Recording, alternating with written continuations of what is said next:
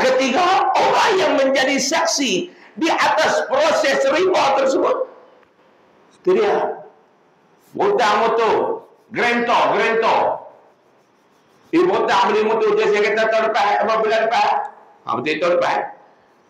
Kan? Dia beli motor. Beli motor. Yang jadi grantor. Yang beli pun kaki duk main kuliah marim. Hak grantor tu pun duk main juga. Siapa dia? Laki bini. Termasuk dalam golongan yang dilaknati oleh Allah Subhanahu wa taala. Subhanallah. Saya kata dah bulan lepas dan saya kata dah nak buat lagu mana? Saya kata tanya tentang nak buat lagu mana? Lah ni kita nak salah siapa nak salah ahli dia kata ustaz tak boleh saya, saya nak buat lagu mana? Ustaz tak apa lah kereta apa semua beli. Ni tu tu imam apa semua ni tak apa lah dia pakai kau tak dia buat umrah apa semua beli kereta apa tak apa. Ni macam kami ni ustaz dia buat lagu mana? Buat lagu mana? Ha? Raga betul macam ni buat barang dah pelak dia. Kalau beli apa-apa pakai gantung kat endek dia. Raga tak boleh bubuh dah. Pelak. Siapa dah kau berapa?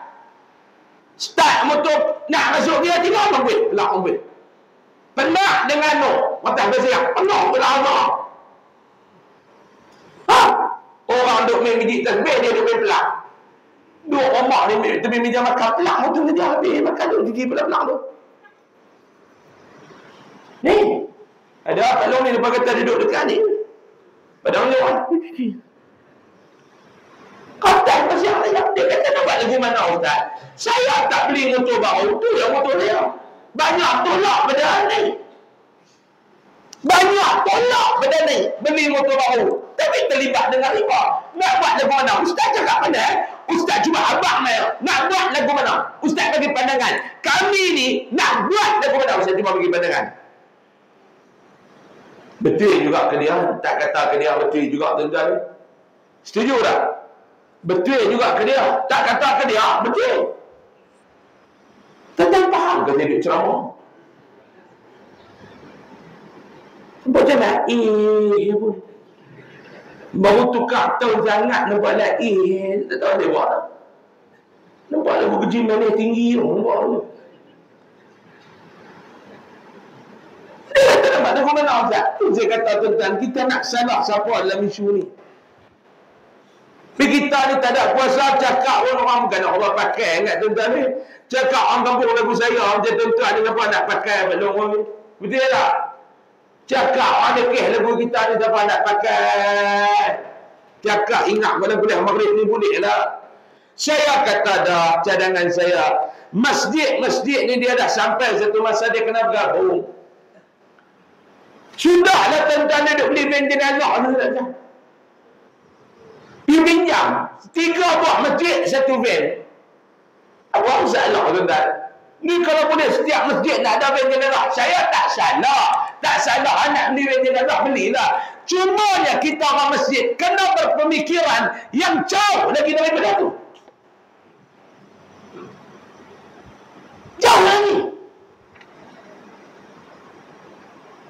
Tuan-tuan, Nabi kalau naik AJK baru, oh dia mula nak tunjuk style kata dia ni baru naik AJK. Mesyuarat yang pertama saya mencadangkan kita pihak masjid uh, membeli van jenazah. Tak salah beli.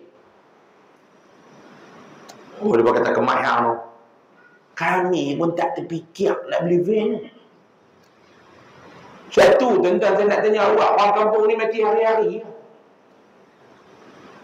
Ha, satu. Lebih baik tuan-tuan cari orang sponsor daripada tuan-tuan duk cari duit beli itu cari orang sponsor. Duit yang ada dekat masjid tu manfaat banyak benda lagi tuan-tuan boleh buat.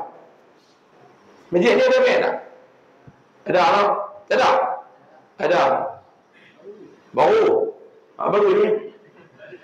Ben je nama apa? Ben je nama bukan bel fire apa dah. Lah ada passion, ada beli bel, bel fire Alphard. Dia passion. Lah ni saya dah kata yang tuan-tuan duk kadut nak beli Belfire. Mayat ada duk umur lah. Nak turun ke bubuk tadi kata ni hebat kat tadi bawah tu tahu tu hebat kat imam tukar semua mampu tiga-tiga. tak salah nak beli-beli. Cuma saya kata lebih baik saya punya pandangan tiga buah masjid ada sebiji bank guna. Yang lebih tu duit masjid ni tuan-tuan carilah lima enam buah masjid dalam satu daerah ni. Ataupun satu daerah ni bergabung semua masjid. Duit masjid ni ada tuan-tuan. Mengarut dia duit tak ada. Ada. Contoh kita katakan satu masjid bagi 20 ribu. Satu daerah ada berapa masjid. Ratus ribu. Dalam daerah ni anak-anak Korea ni. Contoh Padang Nyok ni tuan-tuan. Yang cerdik pandai ni ramai. Anak Korea ni bukan pekak bodoh. Cerdik pandai. Ha, kerja apa? Saya accountant. Hang, saya ni bahagian ni lah, doktor-doktor ni semua. Panggil ni accountant apa, apakah dalam finance semua teman duduk. Buat satu koperasi ke apa, yang mana menawarkan loan ni kepada anak Korea yang betul-betul memerlukan untuk beli motor. Buat skim pinjaman. Anak Korea ni nak beli motor. Dia nak pergi beli motor kat sana. Terlibat dengan riba. Kita orang masjid selamatkan orang-orang kampung kita. Anak-anak Korea kita daripada terlibat dengan riba. What? What? Lagu mana yang dihalalkan oleh syarak? Panggil alim ulama. Mana bagi pandangan? Okey, nak selamat daripada riba. Ni dia konsep finance yang abang boleh buat. Setuju tak tuan-tuan? Dari mana duit masjid tu simpan bagi akak? Masjid ni dia bukan syarikat korporat. Dia show tengok oh, oh banyak orang duit kita. Orang nak suruh perbaik masjid pun tak mau. Kata kat Imam boleh oh, kita perbaik masjid Imam oh, eh tak ada dia kata dia duduk ada ni tu orang tak lagi. Dan Cik Imam shilling kita ni, Cik Imam kita orang tak nak duk pakai dah. Ada keping, sekeping, sekeping tu tu. tu. Try kita tengok padang nyok tu. Macam Dubai. Dia kata yang ni pun jadi. Eh. Dia kedekut ada. Ada ada masjid kedekut tuan. Ada. Kapek ni tuan-tuan cuba tengok. Kapek tuan-tuan macam tu. Macam raudah tu. Kemas. Dia dah tu berharam dia tak mau main masjid lagi. Natang tu. Kita buat macam-macam nak pergi demai. Tak tunggu. Dulu saya main majlis tuan-tuan. Sujud ni dia berutu kat ke, ke, ni dia ni. Cuma saya tak kata apa dulu. Masa kita ni main sekali-sekala. Kami duduk sujud ke tepuk ni tak tak nak tukar ke kami. Allah sedap. Lah ni mau sujud lah mau boleh lena ni lah. Kita kata tu imam mai lah kita tukar kapit baru pedih buku lali yang ni.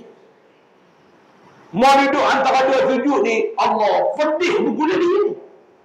Kapek kita dah, dia ada kapek sekeping-sekeping tu lagi. Eh, dia kata yang ni pun jadi tu pun tak merah merah. Kita kata tak, bagi lah. Dia kata anak sujud sakit. Hang tu pedih buku lah, jaga. Dia kena saya biasa pergi pengalaman ceramah ni satu masjid tuan-tuan. Jamban pintu tak ada. Habis-habis ceramah saya betul. Dah belayak. Oh, maksud? Eh, dia kata bukan tak ada pintu pun. Kau apa buat ni pakai wajah Allah ni tutup jemaah ni. Pasal tu jangan wajah Allah ni bayi ID yang sedang muh begitu. Tak harap kata aku wajah Allah ni tak berjarak pada ni. Saya pun keluar. Tanya tu siap, tu siap. Dia ambil Saya kata ni, belum. Pintu memang tak ada. Jemaah. Dia tak ada. Pintu yang kat. Pintu syekh. Jamban ada tiga pintu juga lubang bila ya. Angkat, angkat. Angkat pintu plastik tutup. Pintu tu dia ikat pula dengan tali kami duk biar awak tarik tu. Tuan-tuan bayar. Dia tak lagi masa kita nak basuh oh, celaka kan. Ni berbelik tali lagu ni. Lagu ni ada cerok. Tu biasa. Ha, selalu pintu jamban masjid selak tak ada. Kalau mangkuk jamban dengan pintu jamban dekat, kita boleh tolak dulu tu. Tolak. Eja kongkok pergi betul dengan lubang jamban tu je. Celah tu pula apa-apa duduk naik tolak dia tu. Dia kedekut nak buat tak tahu dah tentang ni. Ni saya nak buat yang tu yang utama tentang nak selamat anak-anak Korea kita ni daripada bakaran api neraka. Benda tu dengar tak payah tuan Tapi tak senang nak buat. Setuju tak? Orang masjid dia payah nak buat tuan Nak gabung tambah nak bagi duit nak buat. Hmm, payah. Sebab tu kerajaan kena fikir buat satu solusi dalam masalah ni.